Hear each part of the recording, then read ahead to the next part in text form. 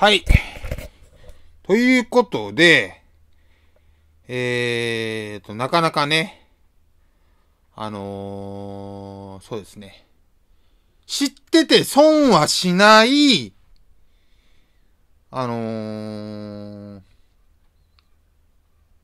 まあ、知ってて損はしない。なかなかね、こういう機会に遭遇する人も珍しいかとは思うんですが、えっと、一応知ってて、あ、これ知っとくと、あ、こん、こんな風なんだって思うようなことを、情報を、えっ、ー、と、一応ね、あのー、なんか、説明いたします。ということで、え知ってて損はしない。はい。えー、隔離室、保護室の、えー、お作法、ルールですね。はい。ということで、えーと、私ですね、あのー、ちょっと大変な、まあ、ことが、あのー、ただ何度かあるんですけども、まあね、実際、あの、こういうとこに、あの、入ったのは、最初の入院とね、最近の入院がね、し、久しぶり、あの、久しぶりだったんですけどね、あのー、最近の入院はね、結構覚えてるんですよ。で、そこで、あのね、知ってて、あの、損はしないっていうか、あの、あ、こういう風なんだ、あ、こういう風な感じなんだっていうのは、あのを、ちょっと情報で教えたいと思います。あ、もう、もう、まず実体験ですね。まず実体験っちゃ実体験です。はい。ということで、はい。えっ、ー、とですね。ということで、時系列でいきます。はい。えー、えー、その時はね、5月、8月のね、入院だったんですけどね、もう、それこそ、病棟からピースサインして、あの、ブログ上げたりしたんですけども、ということで、えっ、ー、と、いろいろあって、えー、まあ、えっちゃんと喧嘩しました。で、不安材料もあったのと、ストレスが爆発して、えー、N さん、えー、えー、訪問看護師さんの前で、エツを追っかけ回して、ちょっと暴れてしまいました。はい。ということで、えー、網戸ぶっ壊しましたね、その時にね。えー、今治ってるんですけどね、網戸もちゃんと、あの、ありがとうございました。ということで、で、その後でですね、もう夕方ですよ、その時は。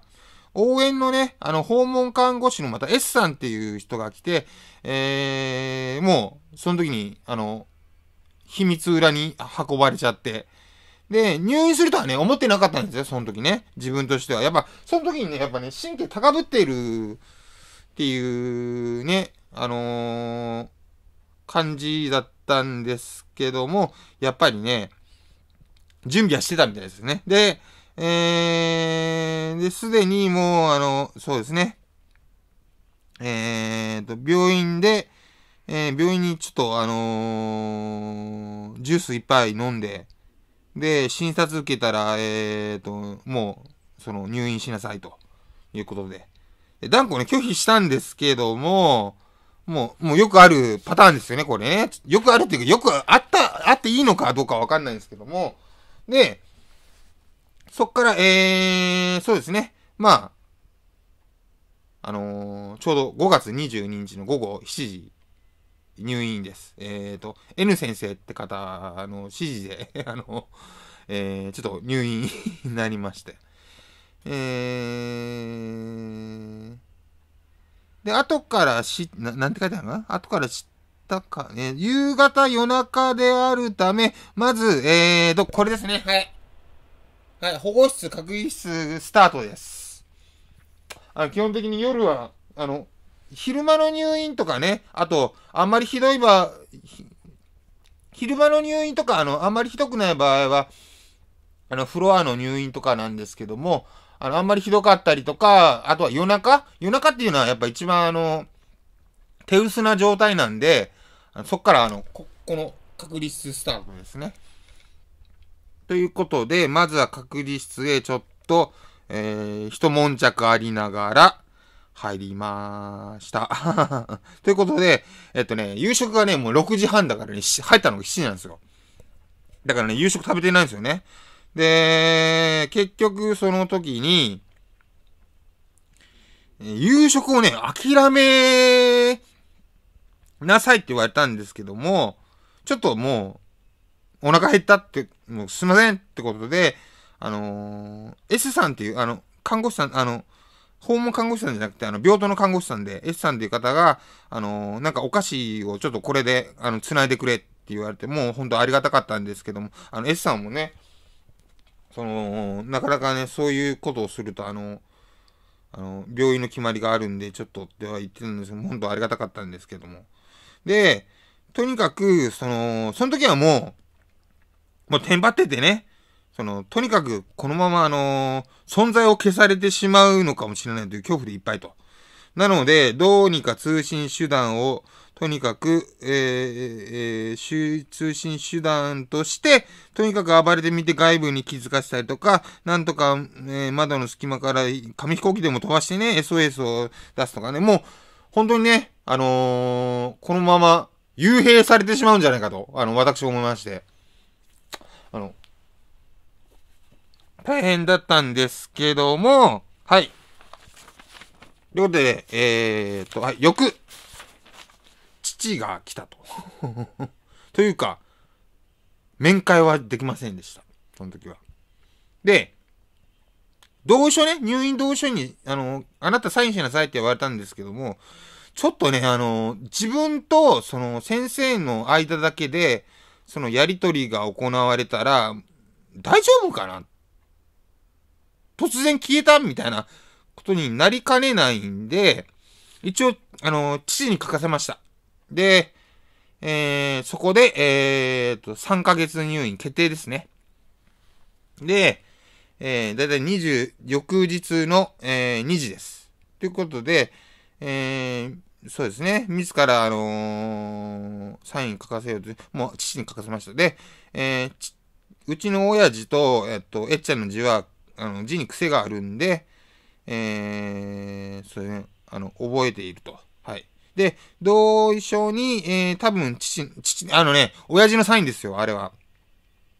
ちゃんと、あのー、親父の癖字のサインがあったんで、えー、なんとなくね、あの、外の疎通は1、1日目にしてなんとか取れたと思うんで、えー、少し安堵しましたね。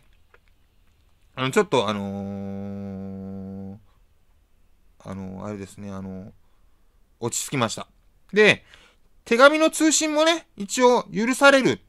その、やっぱりね、あの、電話も使えないんでですね、あの、携帯電話、んなおかつ、あの、公衆電話もダメなんで、あの、手紙の通信？これだけはね、許されるってことなんで、越に連絡して、で、越に連絡して、で、えー、っとですね、で、あ、こっちから、こっちやった。これ消えた。で、で、えっちゃんからね、手紙、こんな感じで、あの、入院した日の手紙、手紙はね、ちょっとパッと見せるんですけど、これ、違う。これ手紙でね、ちょっとやりとりしてました。えー、何日かな？えーっと、えー、これですね。もうパッと見せます。はい。そうですね。えー、ちょっと。あれ ?25 日、25日かな？そうだね、25日に通信が取れたんかな？多分、この25日ですね。これでまあ、いろいろ、こう、えっ、ー、と、こんな感じで、あの、手紙で連絡取り合ってました。あの、えっちゃんと。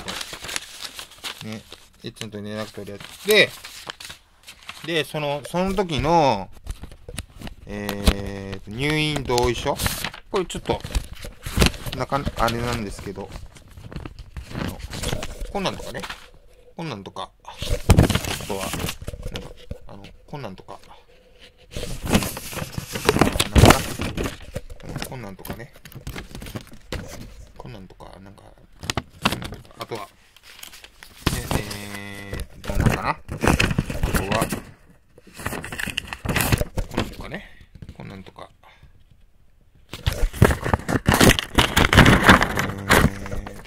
こんなんとかをいっぱいもらうわけですよ。で、最初は3日間ってことになったんですけども、やっぱりその、親父が同意したってことになったんで、えーと、一応、3ヶ月入院ということになりました。ということでですね。で、で、ここで、えーと、これで、これ言ったらいいかな？次。はい。ということで、ということでですね、実は、えーと、こ、こ、こうでいいかな？はい。こうしよう。で、こっからね、入ってきたんですよね。こっから、あの、実は診察室1階にあって、ここバーって入ってきて、ガーで、ガンって入って、ガンって、こう、いいこの、こんな感じなんですけど、まあ、これを、まあ、ひっくり返しまして、こんな感じといたしまして、ね、結局その、フリフロアっていうのが、まあ、こうですね。こう見たときに、この、この地図で、これ、これ、あのー、病棟のフロアなんですけど、こう見たときに、こういう風になります、あの、隔離フロアが。で、隔離フロアがあって、あの、僕最初はね、あの、ここら辺、あの、こ、こ、こ隔離フロアがあったら、まず最初は一番ここの部屋にいましたね。ここ、こう、は、こう入ってきて、ここの部屋です。ガンと。で、ここでまあ、いろいろあったと。いうことですんで、まあ、しばらく落ち着いて、後でこっち移ってくれって言われて、まあ、こっち移って、で、まあ、そうやってもう、フロ、こっからフロアに、あの、そうですね、行ったということなんですけども、で、やっぱこれも見せながら言った言った方がいいかな。で、か、こっから隔離のお作法っていうか、まあ、そんな感じなんですけども、えっ、ー、とですね、えっ、と、俺読み上げた方がいいかな、これ。ね。読み上げた方がいいか。で、えー、隔離のルールじゃない、まあまあ、あれですよね。えー、6時半に電気、あのー、つきます。6時半に電気がつきます。で、8時から下から食事が出る。まあ、看護師さんが持ってくるんですけども、もう、下が、あの、もう、鍵かかってますね。もう、こ、こういう、こういうと、こういうとこですよね。今、あの、ドア開いてるんですけど、ドアも閉まってて、もう、あの、こここのスペース、ここのスペースから出てくるんですね。で、あーで、ちょっと待ってねちょっと待ってね。ストップ、ストップ。ということで、6時半に電気がつきます。で、で、8時に下から食事出てきます。こういう、ここのここですね。ここから出てきます。で、9時半にかじ、か、ここのあ鍵を開けてくれるんで、こういうフロアスペースに出れますね。フロアスペース出れます。で、で、また、えー、10時、あの、うちの病院のルールなんですけど、10時になったらね、あの、また、あの、部屋入ってくださいって言われて鍵かけられます。で、12時になったらまたご飯が出てきて、で、えーと、まず14時かな？うち、うちの病院のルールだったらね。14時になったら、あのー、鍵がね、また開きます、ここ。鍵がここ開いて、えーと、1時間、あの、また、フロアに休憩できます。あの、あの、あれですね、あの、隔離フロアですね。あこっちじゃ、あの、こっちの、あの、病棟フロアじゃないです。で、休憩をって1時間で、14時に鍵が開けられて1時間で、3、15時にまた部屋にね、この部屋、この、この部屋に戻ります。ということで、で、6時半にまた、こっから、ご飯出ます。で、9時、夜の、6時半っていうか、あの、あれですね、18時半ですね。で、夜の9時消灯っていう風になります。ということで、ここは基本的に鍵はかかってます。ここ、ここ鍵かかってますね。ということです。ということで、えっ、とね、ということで、で、そこからどうなったかと言いますと、はい、もうこれ映しますね。えっ、ー、と、隔離のフロアで、K さん、えー、看護、病棟看護師さんや I さん、病棟看護師さんと世間話をするようになる。え、隔離室のお友達の顔を見て場に馴染むよう1週間から2週間ぐらい隔離スペースで生活が続く。えー、徐々にフロアスペースに、徐々に、こっちですね。この、病棟スペースですね。こ、ここっちからこう出て、病棟スペースに、えー、えー、移行するという形です。えー、これが、えー、一応、あの、隔離室のお作法です。